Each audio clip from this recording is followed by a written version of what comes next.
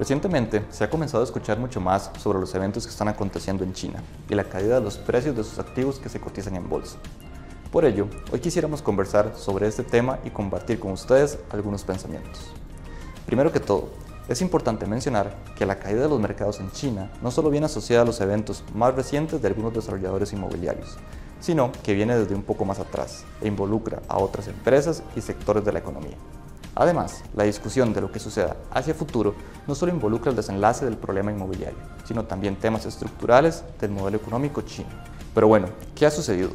Recordemos que el gobierno de China desde hace varios años viene implementando un modelo económico mixto, con claras bases comunistas, pero con ciertos tintes de capitalismo, con el objetivo de posicionarse como una gran potencia global. Esto ha llevado al país a incursionar en una estrategia de crecimiento bastante agresiva, que de cierta forma se le ha salido de control al gobierno liderado por Xi Jinping. En este contexto, el gobierno comenzó a intervenir en diversas industrias desde el año pasado, con el fin de mitigar riesgos que podrían afectar su plan de prosperidad común y que además podrían impactar negativamente la credibilidad del régimen y su influencia como líder. Durante el último año ha intervenido fuertemente en el sector de tecnología, en empresas como Alibaba, Didi y Tencent, incluso imponiendo multas históricas y cancelando IPOs, como en el caso de Ant Group. También ha limitado el uso de videojuegos, ha intervenido en el sector de apuestas y ha forzado a la educación privada en línea a ser sin fines de lucro, afectando múltiples empresas que estaban a punto de cotizarse en bolsa. Adicionalmente, intervino para controlar los crecientes precios de las viviendas en el país, impulsados por ese mismo objetivo de rápido crecimiento económico, y que a la postre terminó en la implementación de fuertes regulaciones sobre los desarrolladores inmobiliarios. Todas estas medidas son las que han generado desconfianza en los mercados, estimándose pérdidas por cerca de 3 trillones de dólares en valoración de activos. No se puede ignorar que varias de estas medidas tienen aspectos positivos, pero la pregunta se centra en si esto podría ser el preámbulo de un cambio o revolución más significativa en el modelo del país, que vaya en detrimento de los mercados hacia el futuro.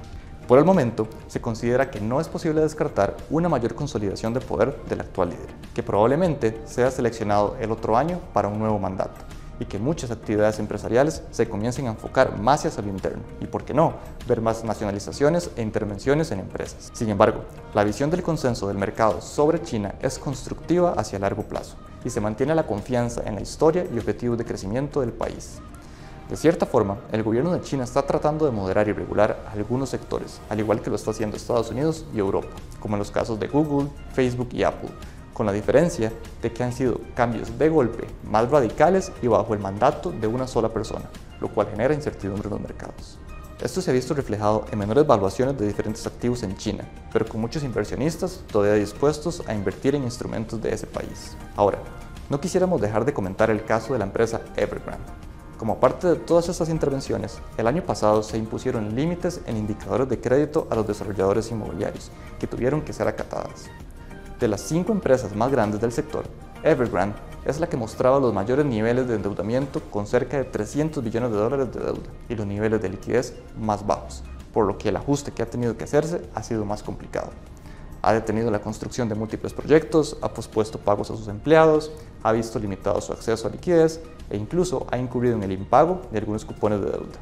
Ante esto, lo que se espera es que el gobierno busque una reestructuración controlada de la empresa, con el fin de mitigar el efecto en el resto de la economía y evitar el descontento de la población. Sin embargo, hay que ser claros en que no se espera un rescate en beneficio de los inversionistas de la empresa. Algunos reportes indican que ya el gobierno está interviniendo con un fondo para continuar con las construcciones pendientes. Ha estado inyectando liquidez en el sistema para evitar un eventual impacto en los bancos y también ha estado gestionando la venta de ciertas partes de la empresa para liberar efectivo.